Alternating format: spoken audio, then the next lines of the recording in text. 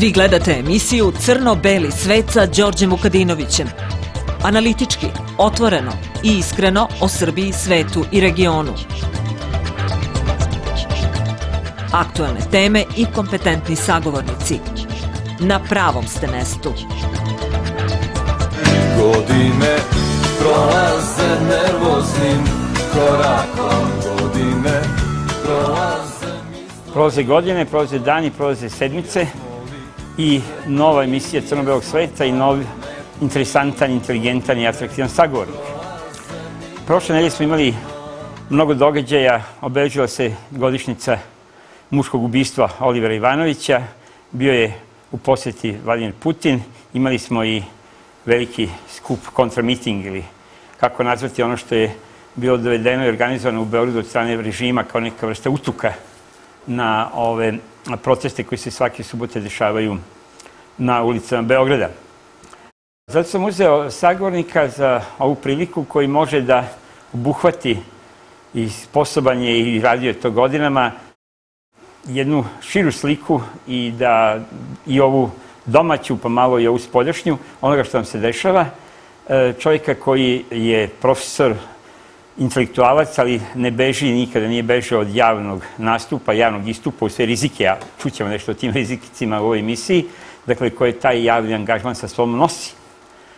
Profesor fakulteta političkih nauka, bio je jedan osnivača akademske alternativne mreže, stalni saradnik Beogradske otvorene škole, bio je i prvi na listi otpora i član otpora i prvi na listi otpora e, na izborima 2003 čovek koji, kažem, nikada nije bežao od toga da javno iznese svoj stav i koji sada, i to je neposledni povod zašto razgovaramo baš sa njime, koji sada bio jedno od najviđenijih imena koje je stalo iza juče upravo objavljenog spiska, odnosno podrške peticije e, grupe, a to nije grupa profesora Fakulteta političkih nauka, nego pravično svo nastavno osoblje Fakulteta političkih nauka je podržao ovaj građanski proces koji se održava na ulicama Beograda vrlo hrabro. Neposredno pre njih su se oglasile i kolege sa Filozofskog fakulteta, ali ne tako jednoglasno praktično ili sa svega par izuzetaka.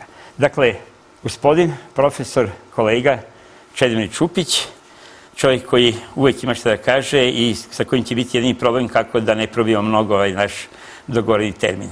Dobro večer. Dobro večer. Hvala na pozivu. Dali ste mi ovako težak, da kažem, teret sa svim onim što ste do sada rekli. Jeste bili upravo u telu koje bi trebalo se bori protiv onoga upravo, što se dešavalo. Upravo telu koje je između ostaloga se, trebalo da vidi sve posledice koje su vezane za, za privatizaciju. privatizaciju. Pošteno govoreći, kako biste vi sami ocenili svoj angažman i svoju uspešnost u, u toj funkciji, ne samo vas, nego i tog tela i tih kolega?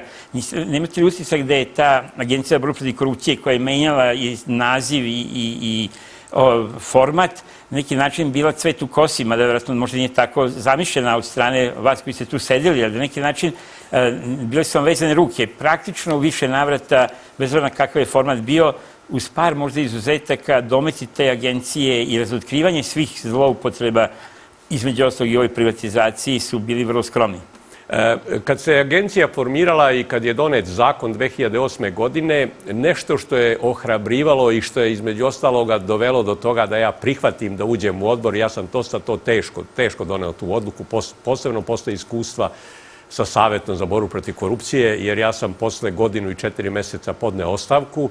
Smatrao sam da sam odgovoran u okviru, da kažem, podele poslova koji su vezani bili u Savetu za borbu korupcije. Ja i profesorka Zagorka Golubović dobili smo e, jedan deo tih zadataka da idemo i da objašnjavamo građanima šta će sve Savet preduzeti da se u stvari otpočne jedna ozbiljna borba protiv korupcije, jer korupcija je postala način života. Ona je 90. godina na jedan prvo šunjajući, a kasnije organizovan način prosto ušla u ceo sistem i ovladala sistemom. I naravno stvar to nije bilo lako. Imali smo pred sobom jednu sjajnu energiju građana, jednu veliku nadu građana i naravno stvar mi smo otišli da to sve što smo videli kod građana, da im između ostaloga čujemo od njih, sve ono što je vezano za razne slučajeve i onoga što se njima dešavalo, a s druge strane i da tu potvrdimo šta ćemo mi raditi.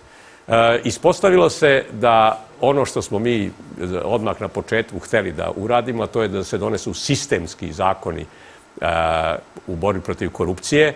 Ja sam predložio na prvom jednom pripremnom sastanku još 2001. godine da prvi, da kažem, da kažem, primarni, najbitniji zakon u borbi protiv korupcije je zakon o poreklu imovine, jer preko toga zakona se u stvari razotkriva sva korupcija. Znači, kogod, ne znam na koje načine stekao neku imovinu, a to je nelegalno, ili to je zloupotreba, ili je to, da kažem, neki, neka pljačka otvorena, ili je to bilo vezano za monopolske pozicije u vlasti, u saradnji sa vlašću koja je zloupotrebljavala e, svoje položaje, ili je to bilo ratno profiterstvo, pošto smo mi bili u jednoj tragičnoj situaciji raspada zemlje. Naravna stvar, vi kad samerite nekome imovinu i kažete, gospodine, ne znamo kad vam je ta imovina pala, to vaše nije, niste prijavili, mi vam oduzimamo. Ja sam, naravno, stvar bio suočen sa jednim pravnim problemom koji su mi pravnici tada, da kažem, prosto upućivali su malo dosta i zajedljivo da ja uvodim nešto što je vrlo opasno, a to je retroaktivnost. Ja sam rekao, gospodo pravnici, sećam se nekih i sudija Vrhovnog suda s kojima sam raspravljao, nije to retroaktivnost, jer retroaktivnost je bila kada bi bila primenjena sankcija.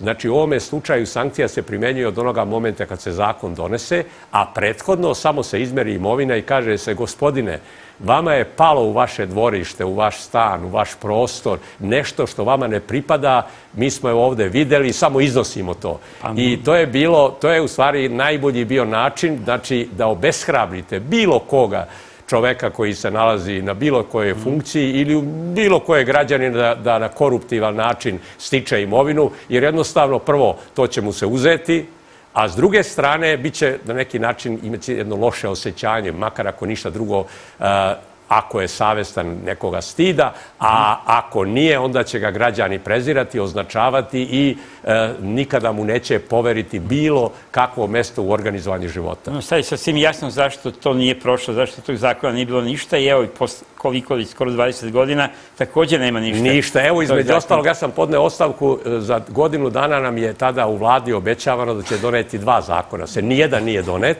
A prošle je 19 godina, 18, 19 da, godina. Da, tada je bilo da nijedan nije donet. E, sećam se, jedan ministar mi je posle tri godine, negde 2004. godine, mm -hmm. u nekom privatnom susretu rekao, ojadio, nas, ojadio se nas zabavio, šest sati smo raspravljali o predlogu tvojih zakona, to je bila ta vlada velike nade, znači premijera Đinđića, koji je inače inicirao formiranje tog saveta i kaže, posle šest sati u glasanju, kaže, zakon nije prihvaćen. E, e, ja sam onda njemu rekao, pa eto, između ostaloga, znači, volje nije bilo političke i to se u stvari pokazuje kakva je vlast i ko su ljudi okviru. To je godina 2001. 2000, znači, ovo je 2000, početkom 2002. U, u januaru je bila ta sednica vlade, a ja sam zakon zvanično predložio u decembru mesecu 2001. godine, čim je formiran savet.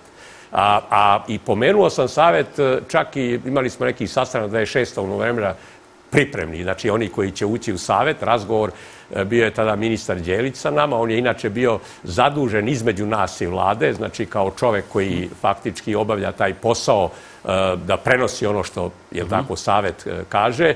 Sjećam se, jedna od tih, da kažem, mera, da pokažemo, da vidimo u kako je stanju, bila je prva mera da prosto kao indikator znači da vidite u kakvom je stanju. E, tražili smo odmah da dobijemo od vlade, znači od premijera, svih ministara, e, pomoćnika ministra, zamenika, pomoćnika ministara, njihovih savjetnika, šefova kabineta, da dobijemo u kojim su upravnim odborima. I sva primanja koja na osnovu toga. E, to je takva nastala panika.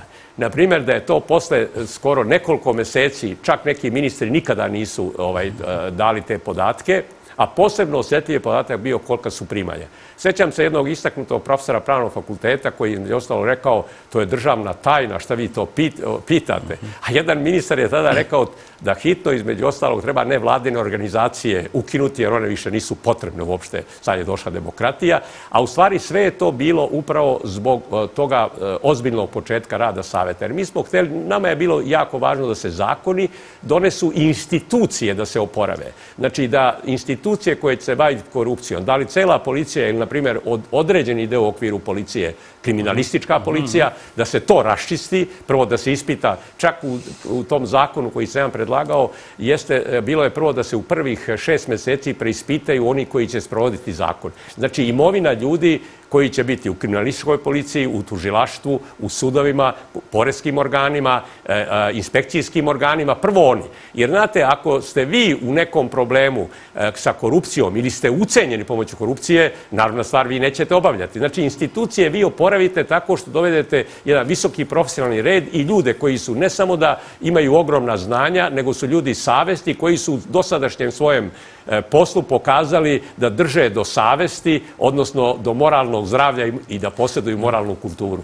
Meni je potpuno jasno zašto od tog zakona ne bilo ništa, I, a umeđu su izmišljene i ove tetke iz Kanade ili to kako u knjigama, u knjizi. Pa ne samo u to, na primjer- nađete par da, desetina, ja ili sam se 100.000 tada, evra. da, da, ja sam se tada tako se- suprostavio jednome, jednome nečemu što je u stvari trebalo da prosto zadovolji javnost i da, i da prosto Mhm. na neki način prevari javnost. To je zakon o ekstra profitu. Ja sam se žestoko suprostavio, e, to je predložio ministar Đelić. Ja sam rekao kakav ekstra profit, to je u stvari e, ništa drugo nego indulgencija.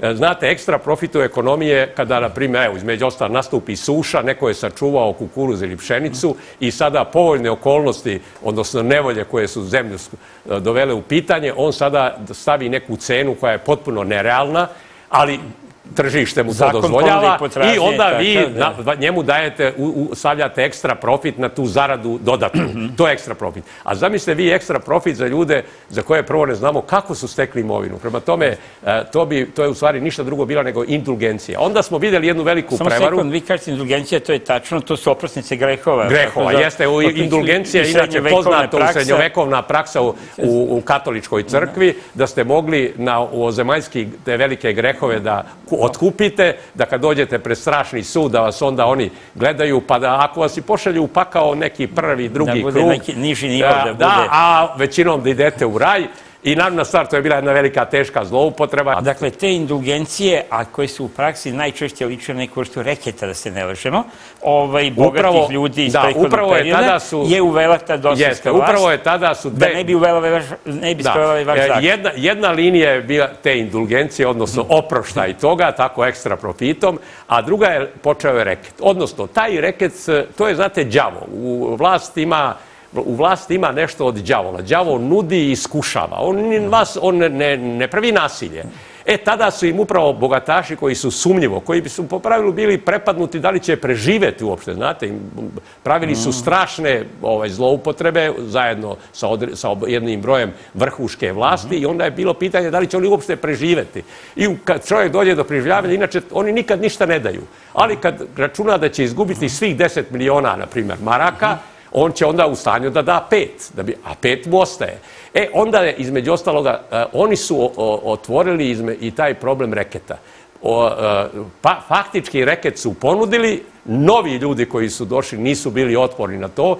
Ja sam sa profesorom Ratkom Boževićem, sećam se u jednoj emisiji krajem oktobra, rekao imate posla sa opasnim ljudima. Dve stvari se moraju raditi. S te, tim ljudima se njihove greške ne smeju opraštati, ne, ne možete vi Pazite, vi, ne možete, vi možete budete milosredan u ličnom životu.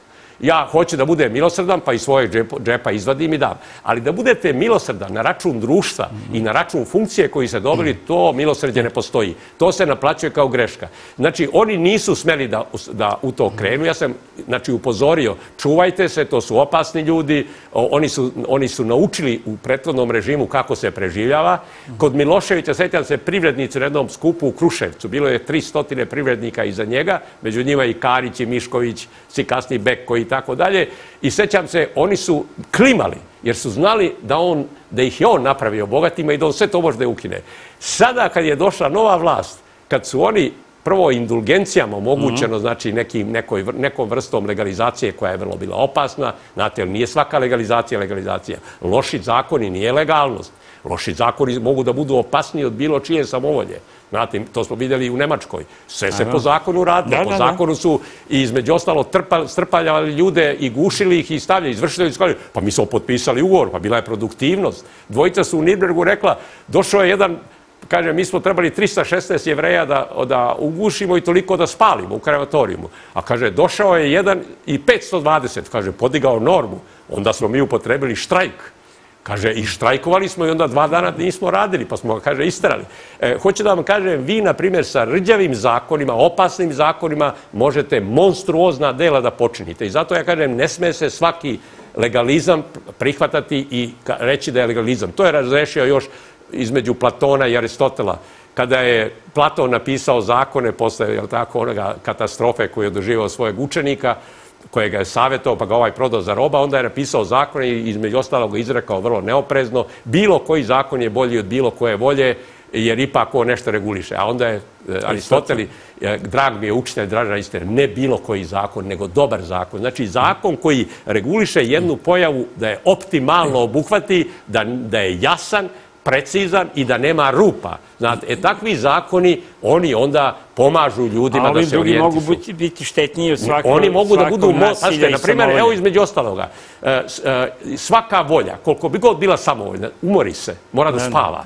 A zakon je uvek tu. Znači, kad god se probudi, on za pomoću zakona napravi što. Ja bih sad sa vama rado to nastavio Platonu Aristotelu, ali mislim da važnije je ovo što smo sad malo čas čuli, odnosno što su gledalci mogli da čuju, a iz svega što ste rekli je potpuno jasno zašto ste prošli, kako ste prošli. Evo, zašto samo ste, jedan, još jedan, samo da, da jedan indikator ovde za ekstra profit. Zašto ste pustite ekstra profit, nego da imamo mi ovo drugo. Ajde, sad, dobro, to je povezano. Dobro. Vi ste leta, ili te 2002. godine, znači neposredno nakon odlaska sa mesta, odnosno podnošenja ostavke, ove, e, prošli jednog toplog zeca i na neki način ste inaugurisali praksu u novoj vlasti od strane upravo tih pokajnika preletača i prevrtača i ekstra profitera koji su kupili ili platili reket ili kupili indulgenciju ili već nazovimo to kako hoćemo i onda su se toliko osetili, osilili i osetili moćnim da su već evo posle godinu i po dana ili nepune dve godine preduzeli jednu najstrašniju hajku protiv vas lično i protiv upravo ovih ideja sada o kojima vi govorite. Sad sam to hteo da prosto na, na istoj smo mi temi, samo da imamo iz drugog ugla. Dakle, vi ste da. u strani te Pinka, Željka Mitrovića, bili podvrnuti hajci, ja se sećam, naravno vi to znate mnogo bolje, se preko vaših leđa to lomilo, ali znam sam bio zaprepašćen jedne večeri, jednog vikenda kada sam upalio televizor, vrteći kanale, naletio na Pink, koji su čitali minutima, satima, se vrtela tema o, o, o profesoru Čedranu Čupiću i o svim njegovim mahinacijama, zloupotrebama, vilama, ne znam, ovaj, ime, ima, imecima i imanjima i e, kao ko je stekao raznim zloupotrebama i korupcijom. Dakle, oni su vama zalepili, baš zbog ovih stava principilnih, najstrašniju moguću optužbu i to je manir kako inače funkcionišu. E sad, to što se desilo vama, to hoću da kažem, je, je bio početak prakse koju mi sad, koja je sad postala svakodnevica. Dakle, to što se dogodilo tada i na početku ove dosovske vlasti je sad nešto što je sa naprednjacima Aleksandrom Vučićem postalo svakodnevni manir. To su ovi tabloidi, to su ovi topli zečevi, gde se, to su ove šikane kojima se podvrgavaju, podvrgava svako ko kaže kritičku reč protiv režima.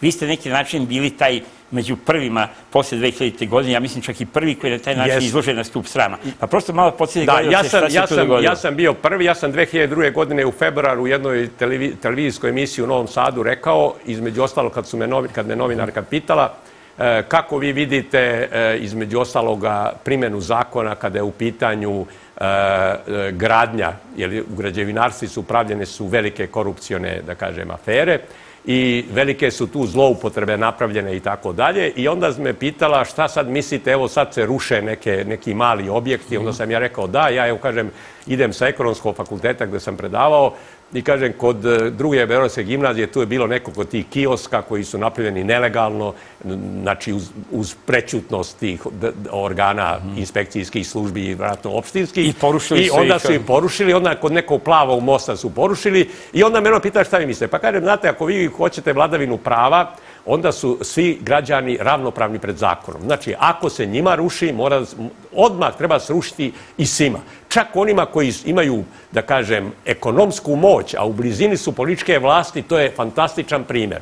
Uzao sam za primer zgradu Pink televizije, za koju sam imao podatke, mi smo u Savetu imali, da je bez jedne građevinske dozvole ona napravljena bez ikakvih građevinskih uslova. Znači, ništa, potpuno podignuta zgrada bez ičega i to je bilo od osam vila Karića, četiri su potpuno be, ne, o, nezakonito, četiri su dobili su, na primjer, imaju 800 kvadrata, a oni onda trebaju dobiju, ne znam, za još 400, a oni to pretvore u 4000 kvadrata. I neke ograde. Jedan koje- više da, I manje, onda sam rekao, ako hoće nova vlast da pokaže da nema selektivne primjene zakona i zakoni ne smeju da se selektivno primjenjuju, nego da su svi građani ravnopravni, da to treba srušiti ili nikome ne rušiti. Znači, to sam ja rekao.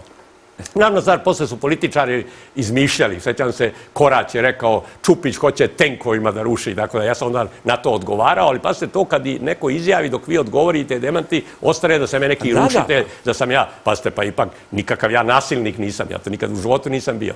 I, i naravna stvar, e, to je izazvalo e, vlasnika i neke njegove saradnike koji su verovatno tada, kojima se on približio, ali čovjek bio nekada u vrhu jula, da on prekine emisiju i to uživo emisiju prekine pokojni Mini Max, jednu zabavnu i pošalje mi jednu poruku u kojoj između ostaloga kaže da sam ja jedan čovek koji govorim o, to, o, o, o rušenjima, a faktički da imam nešto što pa ja nemam. pa? I naravna stvar, onda mi kaže ili ću ja biti jedan brbljivi zec koji će učutati, ili ću ja učutati tako što će me on potplatiti, pa eto, korupcijom će on mene za, za, na to sam ja odgovorio. Ali ono što je drastično bilo, ja sam prošao kroz medijski linč. E, naime, on je van programske šeme e, e, uveo je emisiju vesti svakog sata. Ja sam bio prva vest. Znači, sve u svetu tada, sećam se, bili su neki zemljotresi. Bilo je nešto i u, ve, vezano i za neke velike političke događaje. To je bio februar 2002. godine, kraj 24. i 5. februar. A, sećam se da je to ovaj sve bilo u drugom planu, a kad se prekine emisija, to, to se zove u novinarstvu flash, flash vest, to je samo onda kada su velike, da kažem, elementarne nepogode i kada su u pitanju ljudi, kad se ubije premijer, ili se ubije predsjednik države. Znači, tada se prekida i onda se to saopštava. E, ja sam doživio da saopštava. Međutim, šta je tu, nije to strašno što je taj čovjek to krenuo. On je, on je to.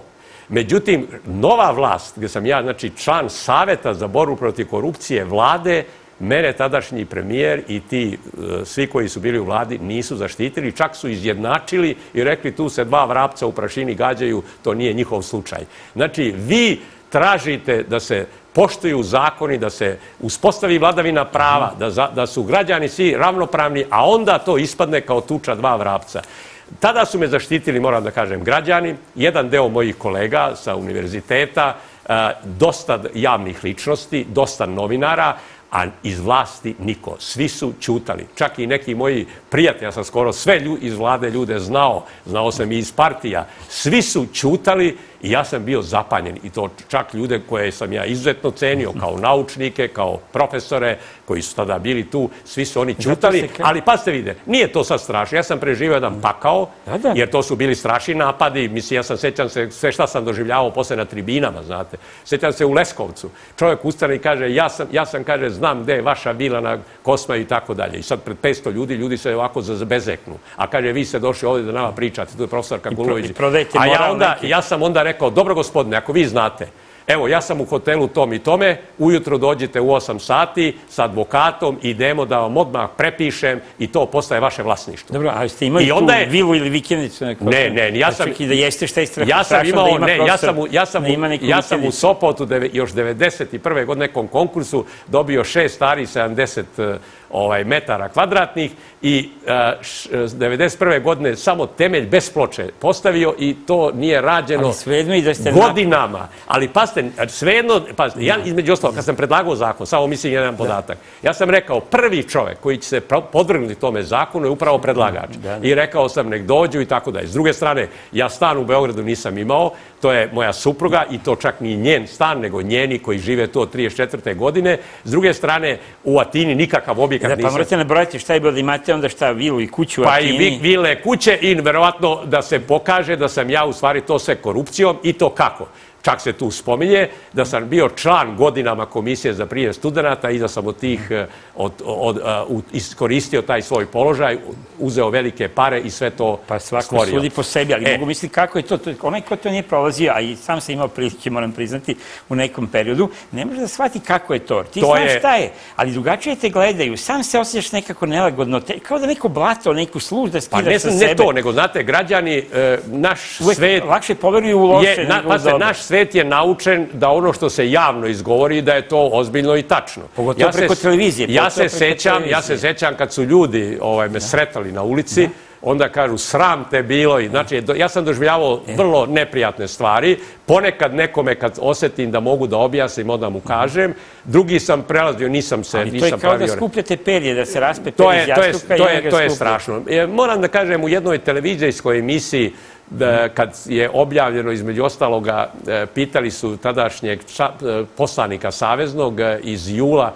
to je Marković, Marko, e, bio je, bio je u stvari savezni sekretar za informisanje u vreme Miloševića. Da, da, Jedan Ivan Marković, ja Da. mislim. E, oni su ga pitali odakle Mitroviću podaci, pošto su oni bili neposredno su sarađivali i bili ovaj. A da, to je sve posle Onda je on 2000. rekao, ja sam to na RTS-u i o- moram da kažem, sam svečano se, sam se osjećao, kaže, to je iz profesorovog dosija. Ja nisam verovao da imam dosije, nisam bio član jedne partije, a smatrao sam kao pojedinac i profesor da nisam ja zanimljiv za te službe, nisam imao neke, neke kontakte sa nekim strancima ili sa nekim novcem ili par. Onda sam rekao, odlično, pa on kažem, odlično, znači ja sam, moram da vam kažem da sam imao osjećaj kako se himna svira, zastava se diže, a ja crvenim tepihom ulazim u državni razlom. Ali kad Može sam da se- čuo da. da se u tom mojem dosijeu nalaze lažni podaci, onda sam kazao ovo su službe koje teško zloupotrebljavaju. Znate, kad ja nemam ništa protiv službi, to su jako važne službe,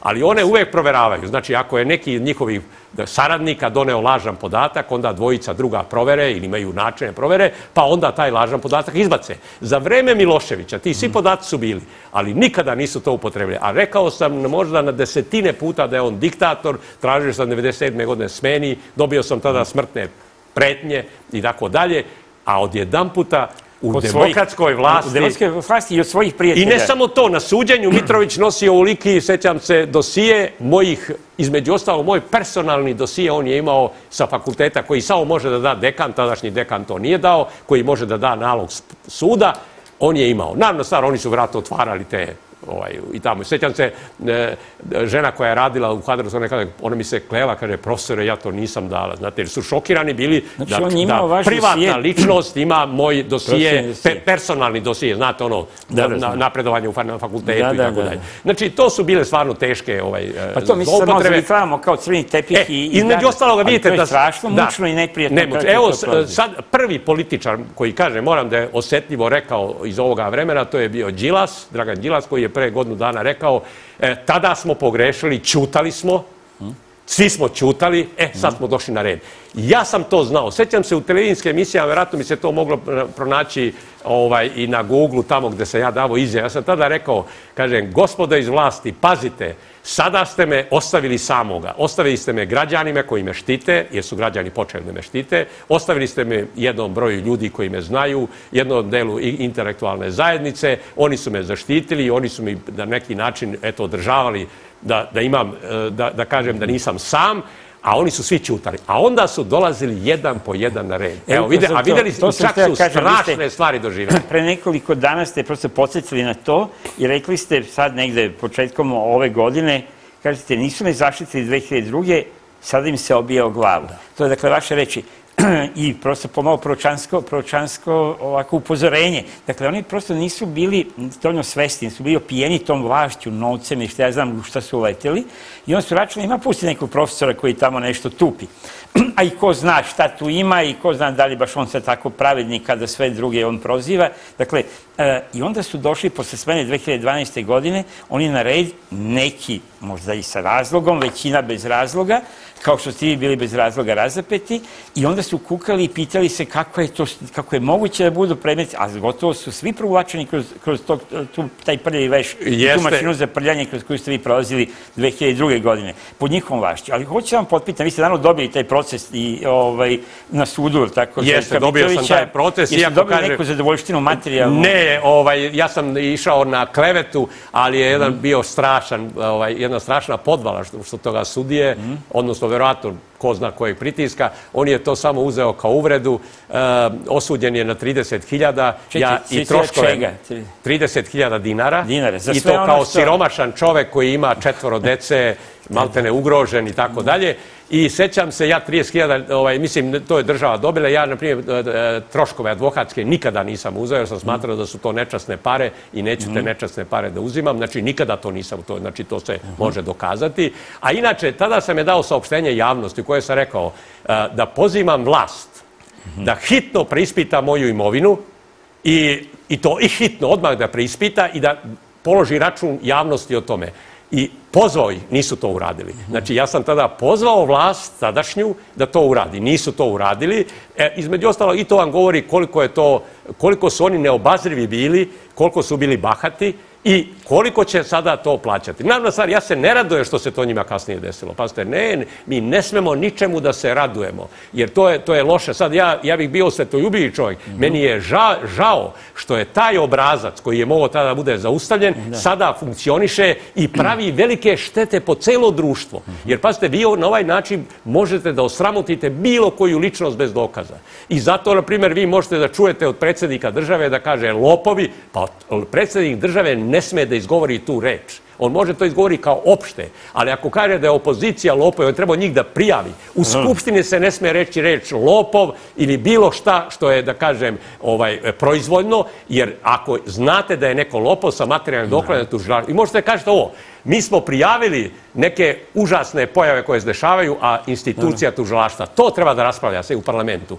a ne lopovi, kradljivci, žuti, Jedan od prvih ljudi, čelnih ljudi tadašnjeg DOS-a je par dana posle 5. oktobra sedeo u studiju te Pink i svirao klavir i demonstrirao svoje muzičko, svoje muzičko umeće. Ne samo to, nego je RTS je prikazao, kada je taj prilog iz Novog Sada komentarisan na RTS-u, prikazao je ministra kulture, što me zapanjilo, kako zagrljen sa vlasnikom Pinka je- šeta, a nije otišao na RTS, znači radio televiziju zvaničnu, pa ministar kulture, ja to ne, nisam, ne bih ni znao, nego je RTS to pokazao, taj snimak. Pokazao je vile Karićeve, pokazao je ogradu Karićevu, moj, moj tekst koji sam ja izrekao i prekazao je ministra. Vidite, znači, to govori da je saradnja počela, ali Taj ne znam... muzičar je bio, taj muzikant je bio Nenad Čanak, a ministar je bio Branislav Lečić. Riječ, jest, jest. Lečić, znači jest, to da jest. kažemo, nije to nikakva Da, e, i tajna. čak, izvinite, sećate se i gostovanje i čak vrlo neprijatnog ovaj, sukoba između Čanka i, i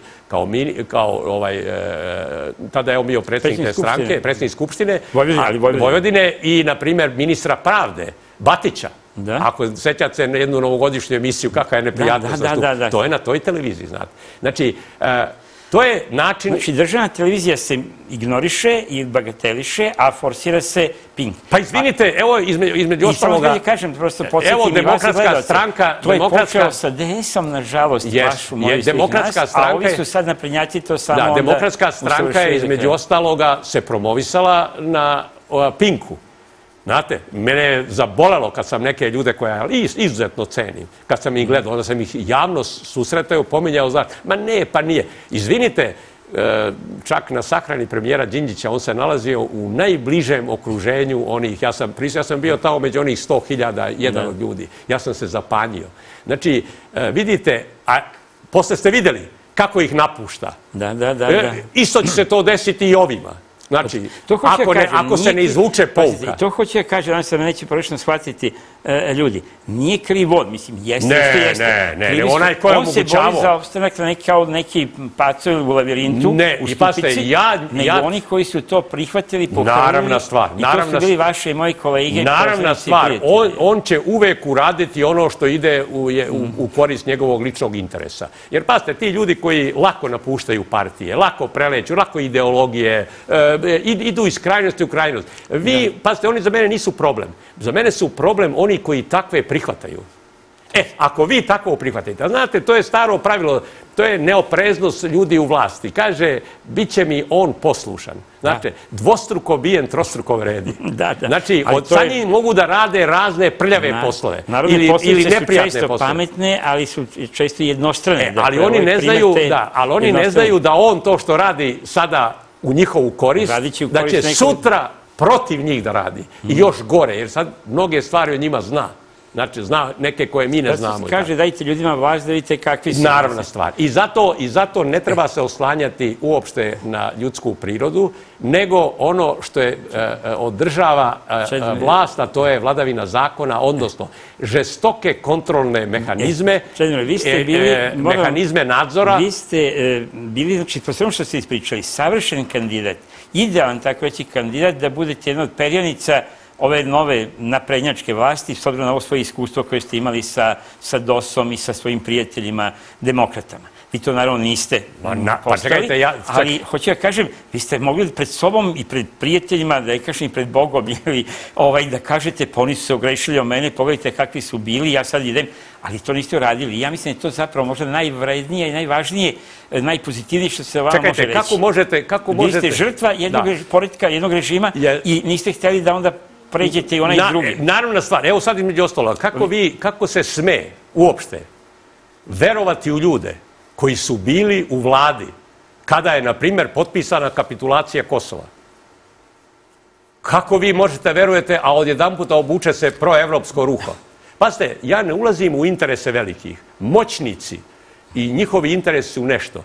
Mi ne smemo da se na jer mi ne možemo tu na to da utičemo, ali mi možemo da utičemo unutrašnje stvari. Kako vi možete do, jučerašnjeg e, onoga čoveka koji je bio potpuno protiv Evrope, protiv Zapada, to je zlo, to je ovo, odjedan puta taj čovjek postaje nosilac evropske ideje. Naravna stvar, i moćnici Zapada kažu, E, ovaj nam treba, preko ovoga ćemo upravo najviše rešiti stvari. Vidite, ozbiljan čovek koji, jel tako, drži Vidite do svoje vidite profesije... da svi vole preletače i domaći, a i svetski moćnici vole Pa ne, pa to je, na, pasite, vi ne možete u te ljude ništa da verujete, odnosno ne možete ništa odgovorno i ozbiljno s njima da pravite, a posebno da vam oni organizuju život.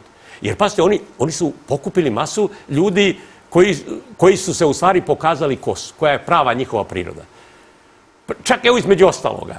Kad, ne, kad on izjavi da njega ne interesuje 5 miliona, to on iskreno, nije to nikakav afekat. Afekat je samo trenutak kada je to izgovorio, a inače to je iskreno mišljenje. Jer sad mu to, tih 5 miliona je, to je neka bagra koja mu sada smeta, jer bi on fantastično funkcionisao, sad oni tu nešto opominju, to treba nahraniti, tu je nezaposlenost, tu sad njihova deca, 60.000 svakoga, evo u posljednje tri godine, od 14. u stvari sad je četvrta godina, 60.000 mladih napušta Srbiju, 30.000 više umire nego što se rađa, znači jedna subotica otprilike umre za godinu dana. Odnosno ode. Ode, Odnosno ode, znači umiranjem, Da. mi ne- nestaje nam, da, da kažem, ljudska masa na ovome koja Da, može da održava. umiranje, nego iseljavanje, još veći problem umiranja. ali ne to, nego se iseljavaju najbolji. A onda vidite, zabra, ne možete da zapošljavate u javnom sektoru i to imate neke e, e, neke delatnosti koje su vrlo značajne, kao što je zdravstvo. Ne možete vi kažete, nema, ne možete zapošljavati lekari. Pa, znači, ovi koji odlaze gde ćemo specijaliste sutra imati i tako dalje. A onda vidite da kroz neka mala vrata, preko raznih nekih ugovora, ulaze na desetine, pa se onda ono šest meseci ne izađe, pa onda je zaposlen direktno. Znači, vidite, jedan užas koji, je, e, pred kojim mi e, ovaj, prisustujemo i, i vi imate u stvari državu u kojoj samo postoje oni građani koji pripadaju ovaj tom režimu i toj, da kaže, vlasti. Oni su jedini koji su ispravni, a ovo su sve ostalo jedan teret, zato su oni izdajnici, neprijatelji, Jeste imali, lopovi. jeste imali neki ponuda direktnih ili indirektnih da, da pređete, s obzirom na to kažem svoje iskustvo koje ste imali, da pređete i podržite Ne, ne, na- ni- moram da kažem da isto ipak su oni mene prepoznali, znate, ovaj, ne- e, nema ne, nisu, pa znaju oni, pa i mislim, oni znaju šta sam ja govorio o njima, a s druge strane oni znaju šta Uh, pa mnogi su govorili o njima, pa su Jeste, ali vidite, perenice. ne, oni znaju između ostaloga, evo jedan podatak. Ja sam došao za predsjednika odbora Agencije za borbu protiv korupcije, e, upravo što su me izabrale demokrate, odnosno taj demokratski da. blok. Ta većina demokratska. Da, da, mislim, iako me nisa, nije me demokratska stranka predložila, nego su me, e, e, predložili su me i to lično, mislim, iz G17. Sadašnja predsjednica ili generalni sekretar ovaj, pokreta, e, evropskog pokreta u Srbiji. Ona je tada bila poslanik. Ona me predložila i sjećam se da je bilo im je neugodno, pa sam ja trebao da budem e, e, predstavnik administrativnog odbora. A onda je jedan moj student koji je na visokoj poziciji E, kod socijalista rekao baš kako njega. A u svoje vreme, kad ja nisam potpisao ugovor, ja sam jedan od pet profesora koji nisu potpisali ugovor 1998. godine i trebao sam budem izbačen, molio me da uđem u komisiju i moj ozbiljan diplomski rad. I dan danas sećam koncepcija moći kod Bernarda Rasela. Čak nije imao ni literaturu, sve je bilo na engleskom i tako da je. Ozbiljan rad je imao. I ja sam rekao, pa dobro, kako ću ti ja ući u komisiju e, e, kad, kad ja mogu da me izbace i da ti ponište sutra diplomski rad? Ne, on je insistirao, a bio je u mladim socijalistima. Taj čovjek je između ostaloga rekao i onda je nastala nezgoda. Pa su me onda prebacili i zamenili Zorana Stojikovića da predloži administrativni odbor, a mene da predloži e, socijalno-ekonomski savjet. Ovaj, tako sam ušao. A zašto sam ušao u drugi put? Ušao sam zato što u tom zakonu je u članu 2 stajalo da zakon između ostalo se može stalno menjati. Ja sam mislio, e sad ću da uđemo, pa onda ćemo na osnovu iskustava odmah da predložimo, jer ja sam video da mnogo toga u tome zakonu nije dobro i on nije dobro orijentan prema borbi protiv korupcije. A ono što je, gde su oni prepoznali ko sam ja kao čovjek? Između ostaloga, kad je 21 poslanik u Skupštini opštine, u Skupštini ovaj, Vojvodine, e, koji su bili e, predsjednici opštine i gradonačelnici, oni su bili u sukobu interesa. Ja sam godinu i pol dana vodio borbu i uspeo sam preko Ustavnog suda da oni moraju da jednu od tih funkcija razdvoje i trojica u Srbiji. To je bio e, pred, gradonačelnik Jagodine Palma, zatim je gradonačelnik Veroljub Stefanović iz... Verko, Verko, da. Verko Stefanović iz Kragujevca i mislim neko iz Kosjerića. I oni su. E sad su oni znali, kaže, ova, ovoga predložili demokrate, a, ali ja, pazite, mene to što demokrate predložili, to, ili mislim, odnosno demokratska ta orijentacija, nisu demokrate, e, to je za, u stvari za mene bilo da ja obavljam profesionalno, ali ne da ja budem njihov sluga, ne da ja izvršavam sad njihove... Ja, to se tako ja sam došao da obavljam funkciju, znate. Ja sam tada, to, između ostaloga... To se tako shvata kao pošto da, ja, sam izme... predložio se i da, slušiš da, Ja sam na odboru inače i predložio da se agencija, da, da, da faktički uzmemo primjer, je to je najbolji primjer, e, komisije za boru protiv korupcije Hong Konga.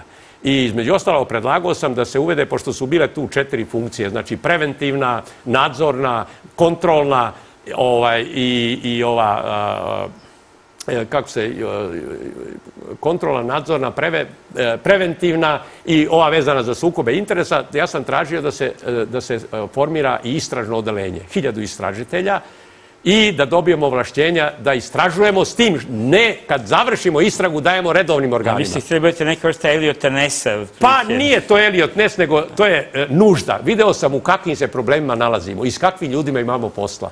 I smatrao sam da jedino tako korupcija može, kao ko što je u Hong Kongu, Niko nema imunitet, na primjer, između ostalo, kad je korupcija u pitanju u Hong Kongu, niko ima, ni, ni na, guverner, pošto je kod njih guverner, taj predsjednik otprilike, ni zameni guvernera, ni premijer, ni ministri, ni poslanici, niko. Ja sam smatrao, kad je korupcija u pitanju, niko da nema imunitet da se svi oni za koje se ne sme da omane istražitelji, da istražitelji budu visoko kvalifikovani, da se oni objave javno njihova imena koji će biti. I tražio sam jednu kasarnu od napuštenih ovde da budu u lepom ambijentu ovoga e, e, dedinja ili banjice. Rekao naš predsjednik, e, e, pa potpuno jasno da... E, to sam tražio i kažem da dobiju dobru da, hranu, nikakve torture, dok se ne istraži šta su uradili.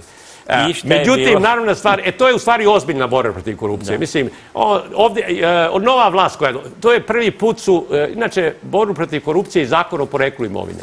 Svi su pominjali mnoge stranke u predizbornim kampanjama. Čiji se dođe na vlast, ne po... Ova je čak sadašnja vlast da. je pomenula i kad je došla na vlast. Evo, od 12. Sad, godine sad nikada opet, taj... Sad pominju da će pa ne, kad, god, kad je god predizbor, kad se kad već predvide da, da, će, će da raspiše izbore, ovaj. onda govore sad će doneti i to na brzinu. A prvo, taj zakon se ne sve na brzinu. Njega treba da obrade stručnjaci, da se da mišljenje ne, javnosti, igra, stručne to, javnosti, to, to, to nije igra. Znači da se on tako dobro uradi da nema nikakvog propusta, da se optimalno obuhvati sve što je moguće, da onda niko ne bude da kaže da će provući se, kroz, ovaj, izvući se. Da, pa i došla je od toga bilo ništa, došla je nova vlast. Naravno, stvar, ni, ništa nije bilo. Tako da oni nisu meni ovaj, nudili. Ali- E, ja nisam između ostalog jedan sam od retki koji nije, kojem nije e, ponovljen mandat u odboru. Jer 13. godine je nama izašao ovaj prvi mandat. mandat, Imao sam pravo po zakonu još jedan puta. Čuo sam u nekoj priči da je neko od, iz vlasti pitao da li je taj čovek e, legalan, on, ovaj, on kaže, odnosno da li je on lojalan, kaže on je samo lojalan svojem mišljenju i o struci. A To definitivno nije preporuka. I to je, o- to je u stvari pokazatelj, a kad, kad vam neko kaže da, ne, da niste lojalni u smislu da tamo gde priđete To se da budete znači lojalni. poslušan, to da, znači prevodu drugi rečima poslušan. poslušan. Ja sam re, oni su rekli on je samo lojalan struci i sebi. Ovaj, u tom smislu da odgovara za svoja dela, a lojalan je samo standardima i onome š- čime se jel tako bavi. Pa to, mi je čak bio kompliment kad sam čuo. Iako je taj čovjek to rekao iz drugih namera, da me eliminiše. Da, jer mi smo vidjeli da su najžestoki kritičari ovog režima i lično Aleksandra Vučića pa i sa Nikolića, dakle, posle ja, po, prešli i avanzovali i rekli da su magarci, bili su bili magarci, sad su progledali. I to kako ljudi iz njihove bivše stranke, znači radikalske, SRS-a, tako i iz ove konkurentske demokratske stranke, odnosno vaših i mojih poznanika, e, koji su najveće perjanice, najveći kritičari radikala i naprednjaka, recimo između 2008. i 12. godine, koji su bili, sada su na visokim i najvišim funkcijama upravo u ovom naprednjačkom režimu. Dakle, od ne znam šta kažem, od Aleksandra Martinovića, ali sad da ih ne nabrajam, do, do, iz demokratske stranke i dosta bismo mogli A evo, između ostaloga, e, evo, to je Opširno. Aleksandra Martinovića, ovaj čoveka koji je najteže reči izgovarao, naravno stvar, nisu to njegove bile reči, to je velikog da, majstora, se. veliki majstor je Šešelj. Da, izvinim se, radikali su štampili knjigu, to možda ga ne znam, su delili po skupštini knjigu, Martinović je, kao da je Martinović izdao govora i izjava na račun e, Vučića, i Vučića Nikolića. jeste. Da. A evo, sada on je najveći, e to su to, dvostruko bijen, trostruko vredi. E, to se. Upravo, da. da. ali to, nažalost, se pokazali isto slično E vidite, kičmu dok u i političkom, ži- iz da, dok, dok, dok u političkom životu, koja bilo garnidura i najbliže- bude praktikovala to, Slažem ona, ona će stradati Slažem od toga. se, slažem se, da. Tačno, ko se mača laća, od mača i Od strada. mača strada, jeste. Mača i strada i Oni to ne pokazalo. shvataju. Znate, mislim, ljudi iz eh, trenutnog probitka, trenutnog Mhm. interesa,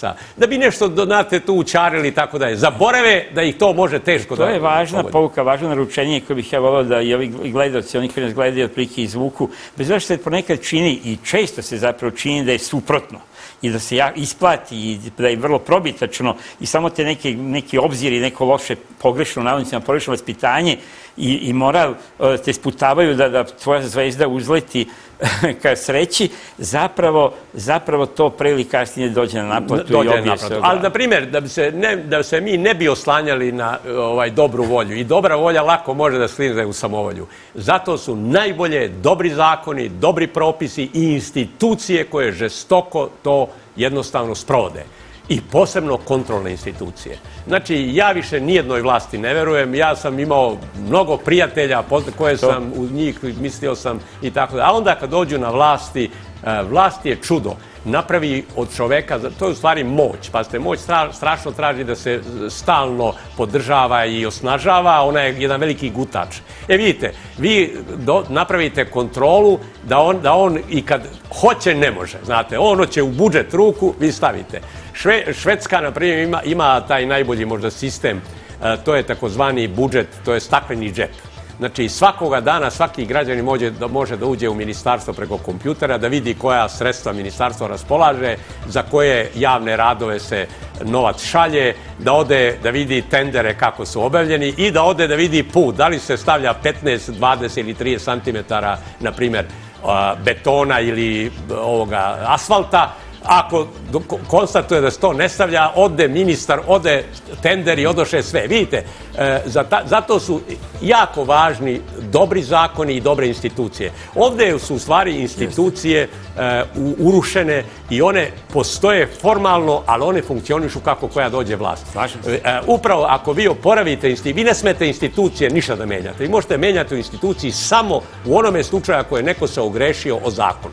Znači, dolazak, to se promene ministri, A ovo sve ostaje tu. I s druge strane, može Ako je ideja... došao- ali ako je došao na osnovu stručnosti, pošto se kod nas i dolazi ako je došao na osnovu stručnosti, pa ako onda se dolazi po partijskoj liniji, pa onda se naravno i odlazi po partijskoj liniji. ja nemam ništa protiv toga kad dođe neki stručan, e, e, ne mora ni stručan, nego ra- razuman i razborit ministar koji zna da okupi svoje saradnike, najbolje stručne i, na primjer, on predloži za jednu instituciju neke mere da ona da je još više poboljša. On ne sme da dira u ovo, nego samo da poboljša, ali da reformiše, pa da postavlja svoje ljude, pa da onda na mala vrata i onda unište sve institucije. A šta kažete na, sad ja malo budem advokat, ali taj se glas često čuje i u strane, ne u strane prisilica režima, nego od onih koji su tu negde između, koji ne bi da mnogo rizikuju, a ne, malo ih je blan da kažu da podržavaju baš vlast, ali onda kažu svi su isti, onda kažu pa pogledajte kakvi su bili, evo, no, mogu vaš primjer sjajno da im dođe u ruke, mogu da kažu vidite šta je radio, šta je radio taj DOS ili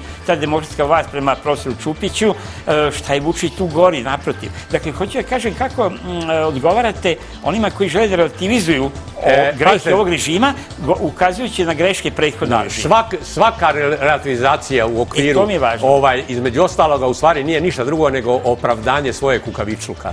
I s druge strane i neke koristi verovatno koja proizilazi. Ja- Pazite, nismo svi isti i to nije tačno. S druge strane, A što nismo svi isti, ali nisu ni svi isti. nisu ni svi isti koji se nalaze, mora se za nekog čoveka dokazati da je nešto ovaj prigrabio, da je na, nelegalan način uzeo, a ne možete ga blatiti bez toga. S druge strane, na primjer, i ovi protesti treba da pokažu da se spoj mora da bude opozicije i građana. Jer ne možemo mi da ukinemo partije i partijski život. Život e, demokratskog društva je život u stvari partija, ali one moraju da imaju podjednake šanse i jednake uslove.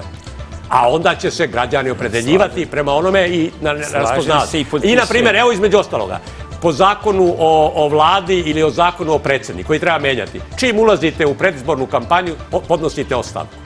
Premijer, ministri, svi podnose ostavke i šta u stvari imate? Imate tehničku vladu da oni ne mogu da koriste resurse vlasti ili moć. Pa formalno gledano tako bi trebalo bude, ali... Kako vidite, ali izvinite, ako vi to zakonski i ako se to na tome insistira, onda između, ne, nećete imati zloupotrebu. E, policija će postaje da održava javni red jednako za onoga ko je bio A na vlasti ili onoga koji je tu kao biste građanin. morali u, u, u pola minuta ili minut da odgovorite na pitanje čemu su ovi gori od ovih prethodnika kad smo se složili da ovi prethodni su bili dobri? Šta Pa pazite, rekli? mi smo 90. godine imali jednu, a, u promenama sistema, jednu tragediju. Imali smo jednu potpuno vlast koja je bila nerealna, ova, a s druge strane ušla u teške ovaj, zloupotrebe, odnosno neki ljudi u vrhovima i tako dalje.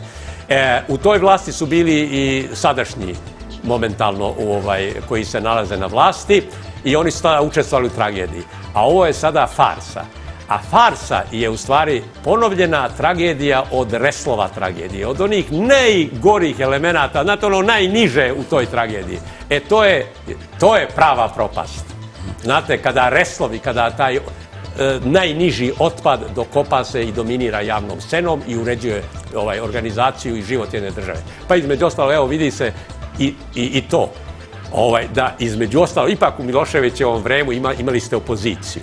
Imali ste parlament neki u kojem se to moglo čuti. Da, se tamo mnogo glasnije čuo da, mi sada sada imamo čoveka koji je preuzeo, vlada je postala njegov lični servis prema upotrebi. Na kraju krajeva svaki ministar i a, predsjednik, predsjednica vlade u, u prvoj rečenici mora da kaže e, Vučića, u drugoj rečenici, ne daj Bože da ne, ne kaže, jedan je čak od njegovih tih, da kažem, najbližih ljudi rekao, ko ste vi? On je vas sve stvorio da, da njega nema, svi ste gotovi na jednom njihovom skupu, to sam čitao u novinama, a onda imate parlament koji je pretvoren u potpuno u njegove, on je preuzeo znači ulogu i zakonodavne i izvršne vlasti, sada hoće preko ovih da kažem, nekih zakona i sud da uzme, da oni postavljaju sudije, tužioce, e, policiju, znači sve u, u rukama jednog čoveka i o svemu da se pita. Znači, znači sve van, na primjer, između ostaloga, za sve ove razne njegove izjave ili postupke moglo bi se da, se da tužilaštvo preuzima kriviče jer on ulazi u e, ovaj da se bavi poslovima koji nisu u okviru a, e, predsjednika države. Znate, to su to je ovlašćenja uopšte nema, ni jedno izvršno nema ni jedno ovlašćenje. Eto, u to je, u- u- e, o- to je, to je naše, u naše, u- naše sadašnje stanje i zato polako građani sada u stvari izlaze iz straha. Pa ste ovde se vladalo egzistencijalnom strahom, to je najteži strah, da ne izgubite posao. S druge strane, vidite, on stalno hoće izbore, ali nema izbora bez ovoga. I ono što je jako važno, opozicija treba da napusti taj parlament u kojem, pazite, čak imate jednu kreaciju koja nikada nije bila. Da vladajuća koalicija donosi po hiljadu amandmana, da znači opozicija nema ni šan. Pazite, amandmani koji su besmisleni. Ja sam to govorio, to pa nigde u to svetu nema, nigde u svetu nema. Ovo je nema. novina, ovo će ostati zapamćeno u jednoj ja- najtežoj vrsti To ja zloupotrebe. takođe govorim njima, u e, parlament je svetilište političkog života i političke vlasti. To je najznačajnija predstavljeno najgori institucija. cirkus, A ovo je, ovo je ispod svakoga, mislim. U stvari to je- reality, pa nije slučajno što neki od tih poslanika to, su pazite, u malo nekad reality, nekad u skupštini. I Pa reality ovde, prave- i reality ovde neko pušta. Pa nemam ništa protiv realita, ne, neću ja da ih ukidam, ali oni ne smeju da budu na nacionalnoj frekvenciji, jer moramo da vodimo zbog ku- ovaj, pit- kulturne Mhm. politike. Oni mogu da budu samo na lokalnim ili uh, privatnim medijima koji nemaju nacionalnu frekvenciju i dru, opore, oporezovati. 95% Pa ako poreza, pa ako se isplati pa to. pa- A vi to sada puštate da me ljudi e, iz e, inostranstva pitaju je li to Srbije, što kažem ne. Moji seljaci iz Vojvodine 95, pa to su uredni ljudi, ali ima neki možda 3-4 procenta Koji društvu- sede tamo oko onih kafana i čekaju neku žrtvu. E, sada su ti dominiraju našom javnom Jel možete zamisliti, samo kratko, na samom kraju ova muzika već svira podavno, e, jel možete zamisliti Aleksandra Vučića kako šeta kao penzioner po Kalemegdanu i igra šah?